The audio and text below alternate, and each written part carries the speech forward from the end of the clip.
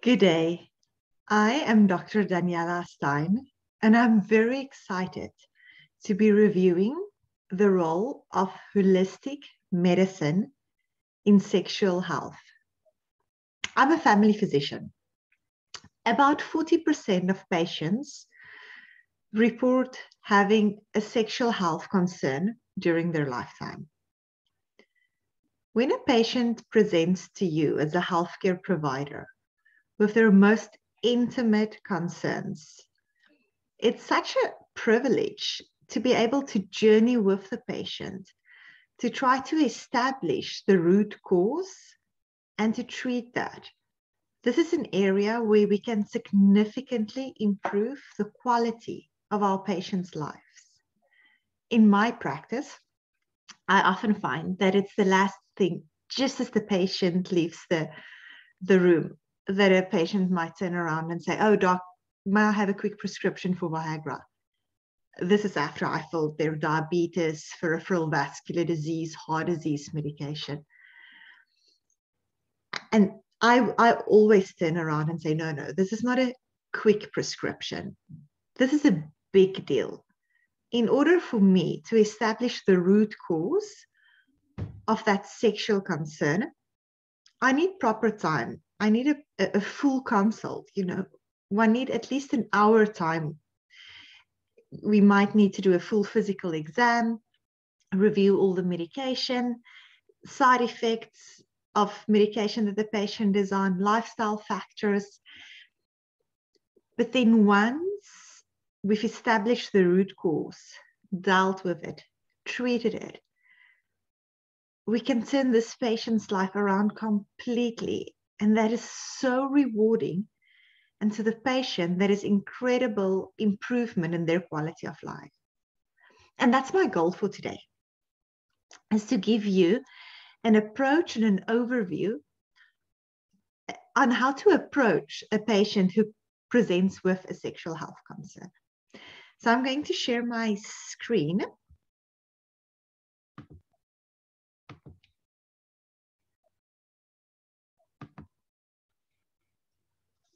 I'm Dr. Daniela Steyn. I obtained my medical degree at the University of Pretoria. I completed my LMCC as well as my CCFP certification as a family physician in Canada. I've been practicing family medicine for 15 years in Canada, providing comprehensive family medicine, including delivering babies, caring for children, teens, for patients with mental health concerns, adults, geriatric patients, marginalized communities, people with addiction problems.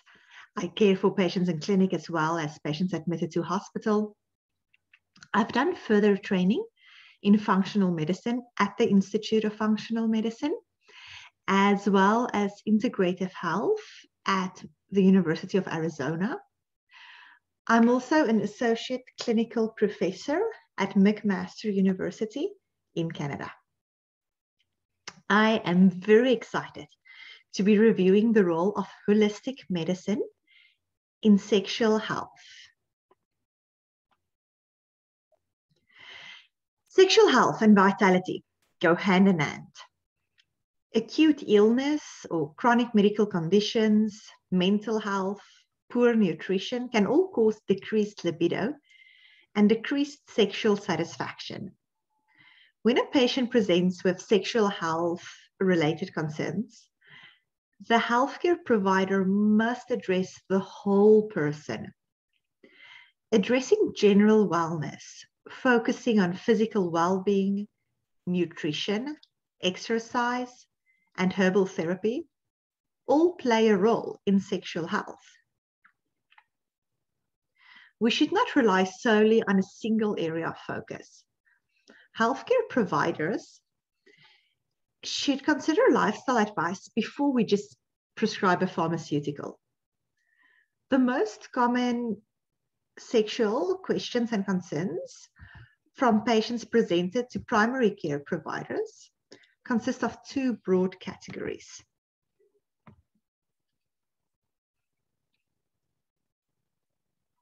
Firstly, concerns regarding sexual drive, desire, libido,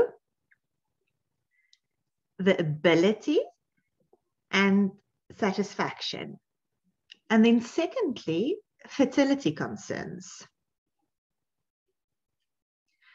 So after a very good, thorough history, we sometimes need to do a physical exam or some sort of testing. For example, if a patient has dyspareunia, that's painful vaginal intercourse, addressing this, um, we, should, we, we should first rule out infection. Because if this patient does maybe have bacterial vaginosis or chlamydia or gonorrhea, we need to treat that way before we, we give out aphrodisiacs. Or atrophic vaginitis is a very common, a typical postmenopausal concern for which there are natural remedies to alleviate the symptoms. And erectile dysfunction incidence increase along with increase in cardiovascular and metabolic chronic disease. So addressing the vascular insufficiency, you know, would be the root cause, or if it's substance use or addressing hormonal imbalances, all of these play a role in alleviating the condition. So firstly, discussing um, sexual drive, desire, libido, ability, and satisfaction. The one intervention that has been shown to make the biggest impact is exercise. Exercise improves sexual desire, arousal, and satisfaction in individuals. And exercise benefits are multifactorial. Increased physiological sexual arousal occurs immediately after exercise due to increased sympathetic nervous system activity and endocrine factors.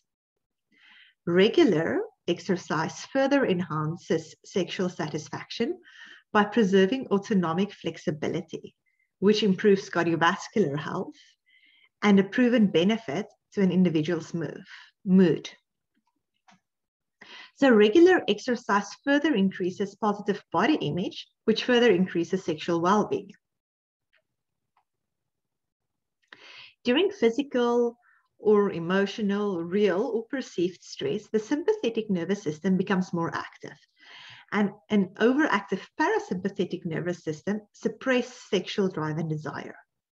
Physical activity and general physical fitness reduce the activity in the parasympathetic nervous system. Exercise interventions have also been shown to be specifically beneficial in a study of women with antidepressant induced sexual dysfunction.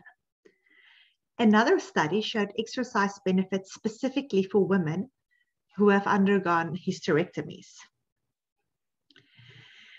The treatment we prescribe for an enlarged prostate often results in erectile dysfunction. You know, that's why getting that, that full history is so important before we just dive in and prescribe medication. So it is important to make your patient aware of this before you prescribe any medication that can alter their sexual ability or sexual function or libido. But quite often, benign prostate hypertrophy and erectile dysfunction, which, which are two completely separate issues, they quite often coexist in the aging male population. Italian researchers have found that when men who were more physically active, either from recreational exercise or strenuous occupations, such as farmers or construction workers, they had 40% or 40% less likely to develop benign prostate hyperplasia than men with desk jobs. And then men who engage in more than five hours of exercise a week were 50% less likely to develop benign prostate hyperplasia than men who exercise less than two hours a week. So men who had the highest level of both occupational and recreational physical activity were 60% less likely to develop an enlarged prostate. Erectile dysfunction and cardiovascular health goes hand in hand. High blood pressure, high blood sugar, high cholesterol, and high triglycerides all damage arteries in the heart. So uh, arteries all over your body. If if the damage is in your heart, then you get a heart attack, or in the brain, that's when you get a stroke, or when it's affecting the penis, then you have erectile dysfunction. But it's the same vascular disease, the same buildup of atherosclerosis that you get all throughout the body. So once we've established that a patient experiences erectile dysfunction due to vascular insufficiency, this can be treated in the same way that other cardiovascular illness is treated. And our mainstay of treatment for cardiovascular illness, peripheral vascular disease, is physical exercise. We treat it with exercise, diet, and weight loss. Physical activity, walking 30 minutes a day, has shown a 40% decrease in erectile dysfunction. And then with moderate exercise, there is even more benefit. And this should always be combined. So that's why this whole holistic approach is so important to me. It, we didn't only look at the exercise, it should be combined with eating a diet rich in natural foods, such as fruit, vegetables, whole grains, fish, and less processed foods. So processed foods are food the way we don't see it on a farm. That would be things like bread or pasta or processed meats. All of these types of foods that comes out of a box should be avoided. An increase in waistline also leads to an increase in the incidence of erectile dysfunction. So a man with a 170 centimeter waistline, that's a 42 inch waistline, is 50% more likely to have erectile dysfunction than a man with an 80 centimeter, that's 32 inch waistline. Being overweight causes erectile dysfunction through several different mechanisms. It causes erectile dysfunction due to the increased risk of vascular disease, as well as increased risk of diabetes. And then it also disrupts your normal hormonal cycle. In excess fat in a patient more hormone precursors are converted into estrogen.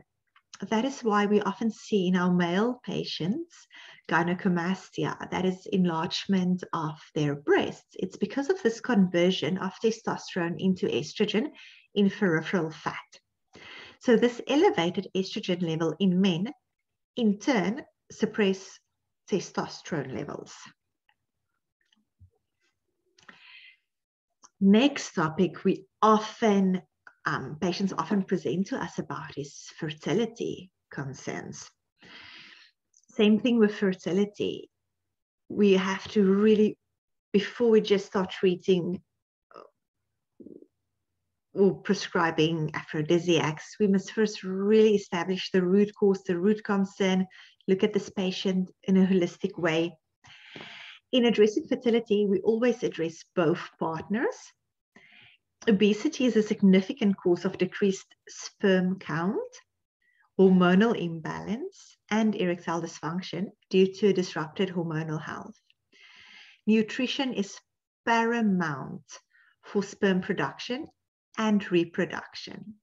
According to a study done in Canada and the United States, it was found that obese women this is women with a body mass index of more than 27 had a relative risk of ovulatory infertility of 3 compared with women with a normal body mass index. And a normal body mass index is a BMI of 20 to 24.9. And there is also an increased risk, but less severe, of ovulatory infertility in moderately overweight and underweight women. And I found that patients are quite often not aware that their weight, them being overweight or underweight, can be a cause of their infertility. A sedentary lifestyle does lead to lower sperm production and decreased fertility in men. One specific study looked at a population of healthy men who participated in exercise compared to a similar group of healthy men who did not participate in exercise, and then they measured their sperm quality. The group who participated in moderate to vigorous physical activity had a significant higher total sperm count and sperm concentration than those who were less active and watching more TV.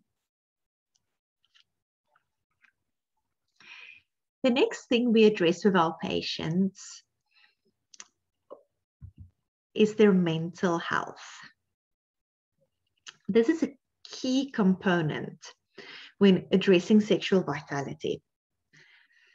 Stress has a detrimental effect on an individual's sex life. This is due to multiple factors. When we react to stress, even when the stressor is psychological, our body goes through physical changes. It's called our fight or flight response. This response causes an increase in heart rate, an increase in our blood pressure, an increase in our breathing, and a diminish other functions such as our sex drive. When people experience chronic stress, this chronically elevated blood pressure and heart rate lead to cardiovascular disease. And we've just discussed how cardiovascular disease impairs sexual function. Furthermore, the stress response causes the release of cortisol and epinephrine. These hormones suppress your sex drive. During chronic stress, when cortisol and epinephrine gets depleted, the body uses steroid hormone precursors to make more cortisol rather than testosterone, which is needed for your sexual drive. And we need testosterone both male and female or non-binary genders do need testosterone for sex drive. Cortisol itself disrupts the body's ability to make estrogen, progesterone, and testosterone. Without these hormones, women may experience irregular menstrual cycles, men experience erectile dysfunction, and a loss of libido.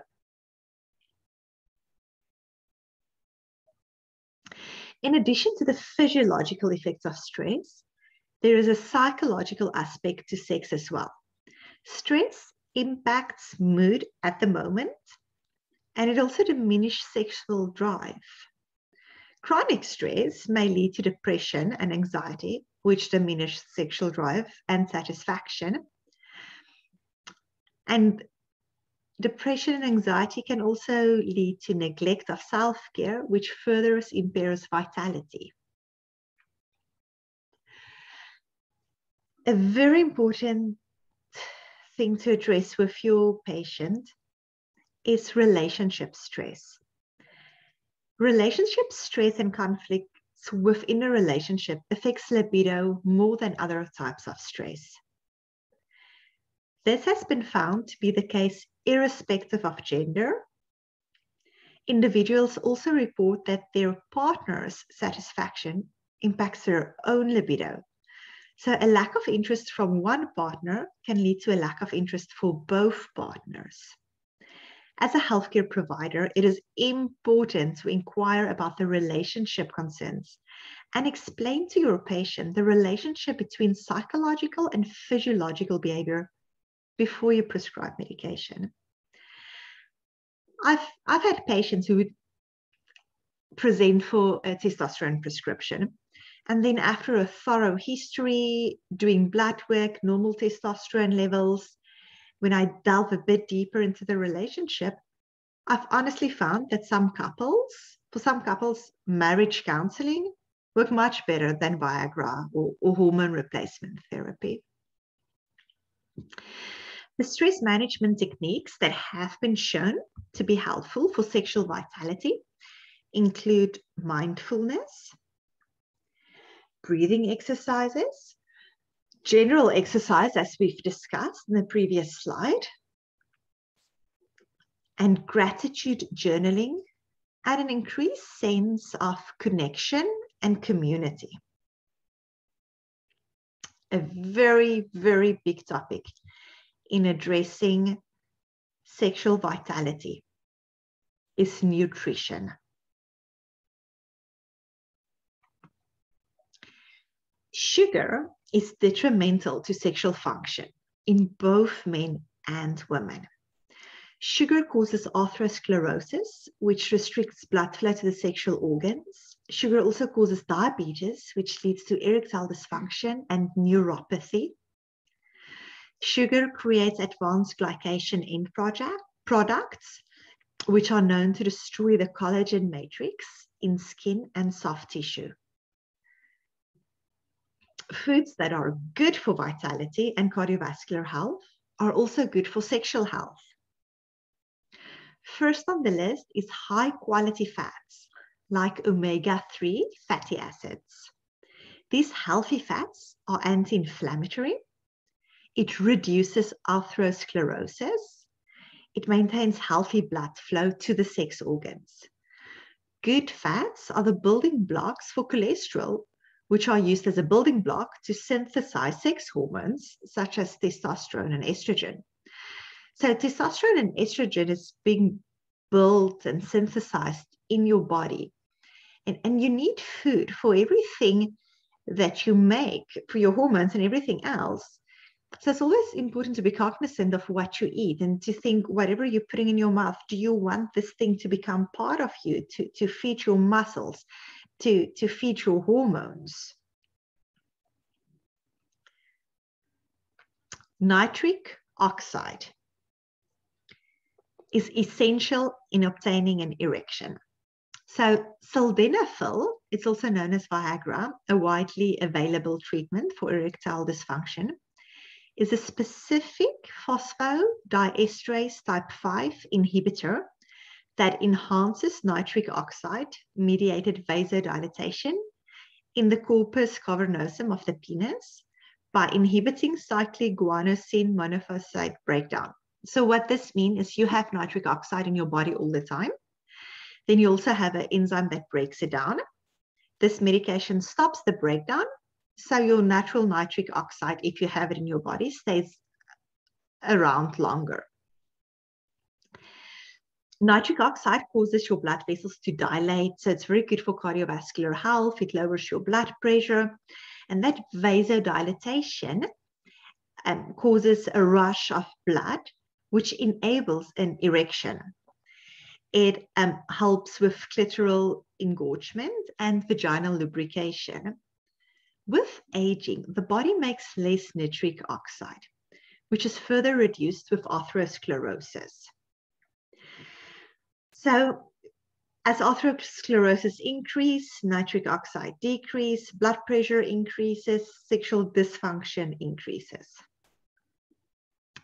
However, there are foods that are high in nitrates, and this nitrates convert in the body to nitric oxide. These foods include leaf, includes leafy greens like rocket, bok choy, cabbage, spinach, carrots, beets, and celery.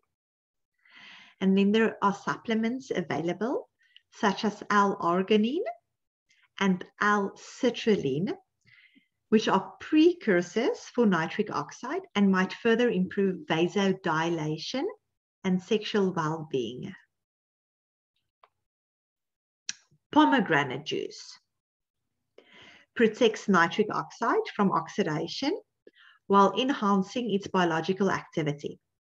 The metabolic activity of commensal bacteria in the gastrointestinal tract and probiotic bacteria also provide nitric oxide from nitrate, nitrite and nitrate, both of them. Then foods high antioxidants are beneficial because they decrease inflammation ongoing inflammation causes atherosclerosis and chronic disease. Foods, well studied for their anti inflammatory properties, are foods rich in vitamin C, vitamin D, and vitamin E. Vitamin D synthesis takes place in the skin after exposure to the sun, Vitamin D is necessary for the production of estrogen and testosterone, our sex hormones. These hormones are essential to keep libido high and keep sexual organs functioning optimally. Selenium and zinc are trace minerals that improve sexual vitality. In my practice, I'm starting to taste more of these trace minerals. I used to believe if people eat a well balanced diet, they will, it's unlikely for them to develop trace mineral deficiencies. But unfortunately, due to mineral depletion in our soil, even well intended individuals who eat a healthy organic diet may still develop some mineral deficiencies. Other foods that increase sexual vitality and vigor include artichokes, asparagus, chocolate, figs, oysters, spicy chili peppers, strawberries, watermelon, and pistachio nuts. Maca is a sweet root vegetable. Its nickname is Peruvian Viagra. Maca is commonly available as a powder that can be added to a smoothie. And it's an excellent, excellent aphrodisiac. Another thing you have to address with your patient is lifestyle. The most significant causes of erectile dysfunction is cigarette smoking and excessive alcohol use. So let's discuss hormones. Multiple hormones does play a role in sexual health. Hormone, human growth hormone is an anabolic hormone vital for sexual health. Human growth hormone and testosterone are both made primarily at night. So, something you can do to help your patient is to help them improve the quality and quantity of their sleep, as this is essential for adequate sex hormone secretion. Lack of sleep increases cortisol, and which we discussed in the previous slide, how cortisol impairs sexual function. Environmental toxins can disrupt your body's natural ability to make hormones. We call these endocrine disruptors. The most well studied ones are parabens. They have estrogen mimicking properties. Parabens are associated with an increased risk of breast cancer. Phthalates are associated with congenital reproductive disabilities in males. Benzophenone is a chemical found in sunscreens that disrupt natural hormones. So once a healthcare provider has addressed all lifestyle issues, optimized nutrition, there are so many botanicals that can be used. Botanicals play a role in sexual desire and fertility. Commercially available FDA approved and traditionally used botanicals such as ginseng, or tribulus, or maca, yohimbe, ginkgo biloba, or ashwagandha can really improve your patient's outcomes. So when we look at aphrodisiacs, we divide it according to the mechanism of action into two broad categories, depending whether the mechanism is psychological or physiological natural aphrodisiacs do not ensure safety. So it's important to, to understand the concept that natural is not always safe. Examples of unsafe natural aphrodisiacs includes ecstasy or methamphetamines. Aphrodisiacs that contain hallucinogenic properties like bufotenin. It is bufotenin that is found in the skin and the glands of bufo toads, frogs, they have a psychological effect on a person that can increase sexual desire and pleasure. Aphrodisiacs that contain smooth muscle relaxing properties like yohimbine have a physiological effect that can affect hormone levels and it also increases blood flow to the male and female genitals. Yohimbine is a substance found in the bark of yohim trees in West Africa. It was traditionally used in West African cultures in which the bark would be boiled and the resulting water drunk until its effects showed proven benefits in increasing sexual desire. It is now approved by the FDA, the Food and Drug Administration, and it can be prescribed for sexual health in the United States and in Canada. The chemical structure of yohimbine is an indole alkaloid that contains an adrenergic receptor blocker. The blocker affects the central nervous system, the autonomic nervous system, and penile tissue and vascular smooth muscle cells that help men with physiological issues treat psychogenic dysfunction. Side effects can include nausea or anxiety or irregular heartbeats, palpitations, or restlessness. Another widely used aphrodisiac is horny goatweed. It was traditionally used in Chinese folk medicine.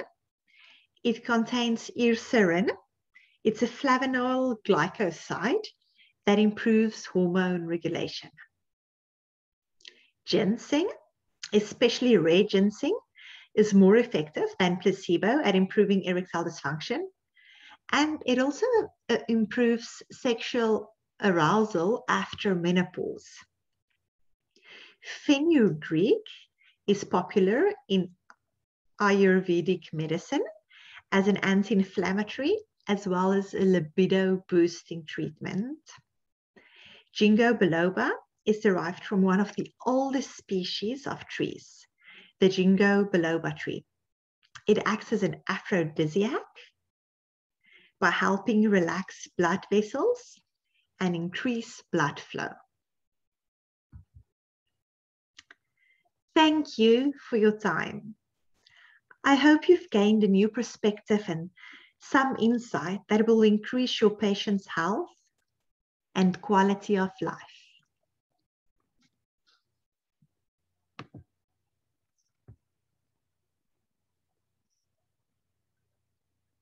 Take care.